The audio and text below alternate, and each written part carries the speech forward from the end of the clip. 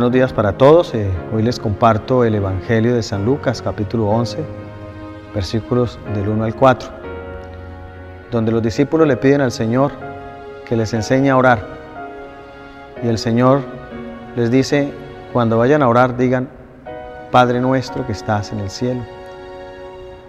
Es decir, hoy nos habla del Padre nuestro el Evangelio. Y tiene unas características importantes dirigirnos a Dios como Padre, como nuestro Padre, dirigirnos a Dios como el que nos perdona, dirigirnos a Dios como el que lo provee todo, Dios providente, dirigirnos a Dios como el Dios que nos da fuerza en la tentación, como el todo para nosotros.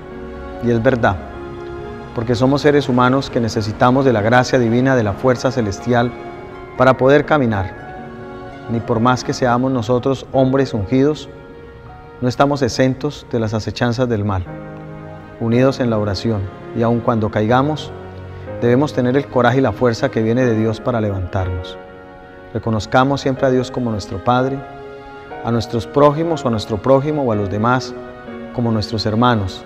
Eso no quiere decir que no existan diferencias, pero con un deseo grande de poder acercarnos los unos a los otros y vivir el perdón y la reconciliación. La tentación que llega a nuestra vida que el Señor nos dé la fuerza para alejar todo aquello que nos aparta de Él. Que todos seamos bendecidos en los lugares donde nos encontremos y siempre oremos el Padre nuestro con ese fervor y esa profundidad espiritual. Dios les bendiga en el nombre del Padre, del Hijo y del Espíritu Santo. Amén. ¿Me demoré mucho?